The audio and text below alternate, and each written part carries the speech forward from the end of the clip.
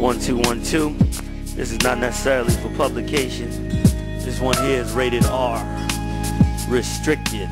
The reason it's rated R because what we about to bring out is an offense to the entire world. But that's not new because to bring out the gospel and the truth about Christ is to offend the entire world. The church system as we know it today is a farce and a lie.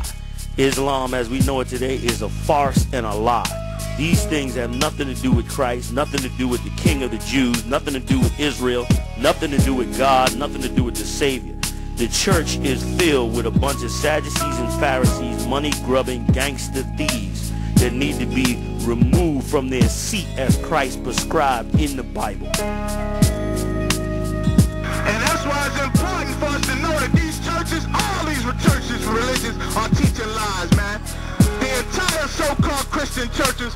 Teaching lies. Islam is a lie. All these religions are lies, and they stop us from knowing who we really are, and that stops us from following the Bible, man. The church is teaching us that the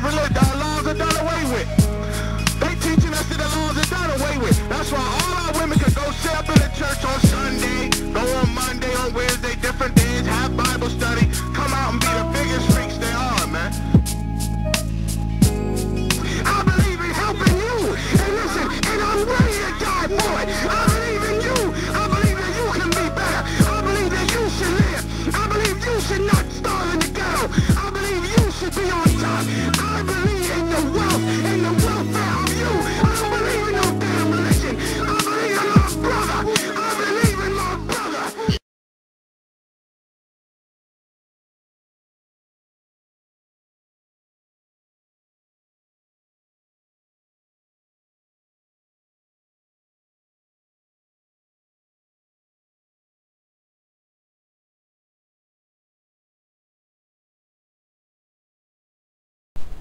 Shalom Israel. This is Officer Shawarrior Allah of the Israelite School of Universal Practical Knowledge, the home of the truth.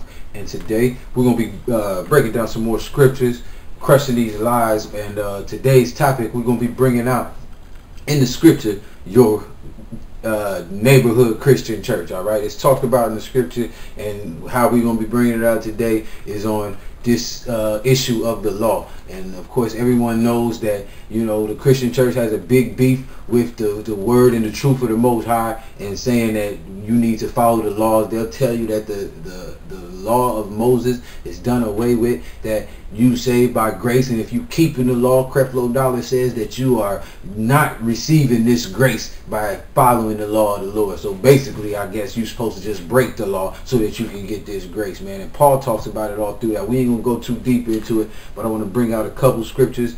And uh, the first one, we're gonna start off in uh, First John chapter five and verse three. All right.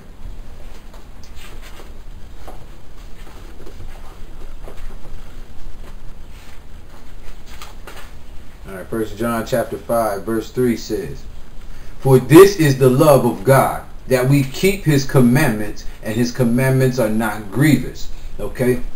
And so your Christian pastor tell them about how they love the church and they love everybody and everything. They do not love the Most High according to the Bible that they're reading out of. According to the Bible, if you love the Lord, you will keep his commandments, right? Okay, what are the Lord's commandments? Is it just the Ten Commandments? Is it just thou shalt not steal, murder, uh, uh, uh, covet thy neighbor's wife, all of these other different various laws? Is it just those ten? No, the commandments of the Lord involve his statutes, his judgments, all of that. And the Most High told us that from generation to generation we're supposed to keep them. So we're going to bring that out.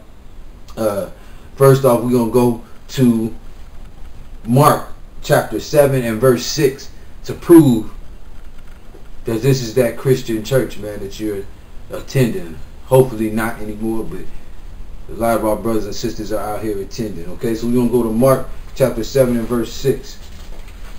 Mark 7 and 6 says, He answered and said unto them, Well hath Isaiah prophesied of you hypocrites. Okay, now if that ain't the Christian church, I don't know what is, but we're going to get some more on it as it is written, This people honoreth me with their lips, but their heart is far from me. All right, this is Christ speaking. This is written in red. And Christ is bringing out what Isaiah said. Okay, as it is written, this people honors me with their lips. All right, but this is what the Lord said. The people talking about Israel, his chosen people, honor him with his lips. Talking about so-called blacks, Hispanics, and Native Indians, they honor him with their lips in the Christian church, in the Muslim mosque, in the Santeria, in the uh, Catholic church. Okay, but what it says, this people honor me with their lips, but their heart is far from me. Howbeit in vain do they worship me. Okay, so you're worshiping the Lord for nothing in that Christian church. Teaching for doctrines the commandments of men. Okay, teaching what that white man teaches you that it's all right to break the law, statutes, and commandments of the Lord, man. That it's all right to have you a statue up in your church. That it's all right to bow down and pray on an altar that's been cut and and man all this other madness. All right. The Lord brought it out, okay, and he's showing them that in vain you are worshiping the Lord, teaching for doctrines the commandments of men. For laying aside the commandment of God, you hold the tradition of men. And this is that commandment of the, of the Lord, what Moses brought out to us way back coming out of Egypt, man. All right.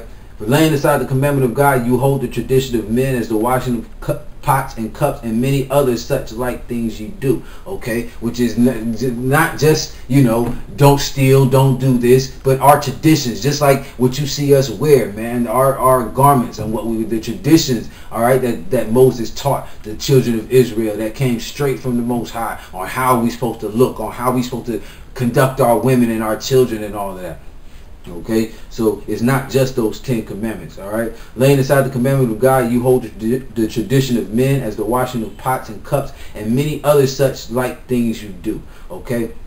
And ye said unto them, Full well ye reject the commandment of God that you may keep your own tradition. And that's what goes on in the Christian church, brothers and sisters. You reject the commandments of God so that you can keep your own tradition, man. So that you can marry a lesbian in the church. So that you can get two homosexuals and marry them in the church. So that you can molest little boys in the church, man. All right? Saying that it's grace. Okay? It's disgusting is what it is. All right? We're going to get some more on this. All right? We're going to go to Deuteronomy chapter 4 and verse 2 to bring out some more on this commandment. Okay? Deuteronomy chapter 4 verse 2 says, You shall not add unto the word which I command you, neither shall you diminish aught from it that ye may keep the commandments of the Most High your God, which I command you. This is Moses talking, and these are the commandments that is talked about. All right, in in First John, if you love the Lord, keep His commandments. Moses gave these to a nation of people, man, and they were to keep it from generation to generation to pass from their kids. You read the rest of this chapter four in Deuteronomy, you'll see exactly what the Lord is bringing out. Okay, I want to get uh, another scripture on this. Let's go from here and get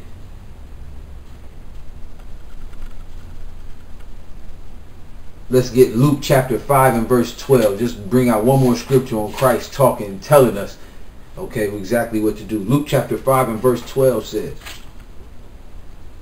And it came to pass when he was a, when he was in a certain city, behold, a man full of leprosy, who seeing Yahushua fell on his face and besought him, saying, Lord, if thou wilt, thou can make me clean. And he put forth his hand and touched him, saying, I will, be thou clean. And immediately the, the, leprosy departed from him. And he charged him to tell no man, but go show himself, go show thyself to the priest, and offer for thy cleansing, according as Moses commanded, for a testimony unto them. Okay, so even Christ kept those commandments that Moses, Christ kept the Passover. Okay, Christ kept the Sabbath. Okay, Christ is telling this man to go and get the same cleansing that Moses talked about in those statutes, which is not in the Ten Commandments. All right, that he gave them in the statutes and the judgments on how we were supposed to be and how we were supposed to do when we got clean and if we were unclean. Okay, so there's much more on this. We got free classes Monday through Friday. We got classes in Broward. We got classes all over the United States. All right. Come out, learn your heritage, learn these laws, statutes, commandments, and change your life. Remember to pay your tithes. It is a commandment. All right. Also remember to check out the Commanding General Yahanna on the radio show every Monday night from 9 to 11 p.m. All right. And with that, I'd like to say Shalom, Israel.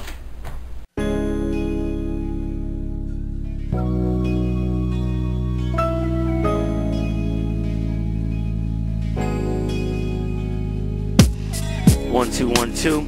This is not necessarily for publication. This one here is rated R. Restricted.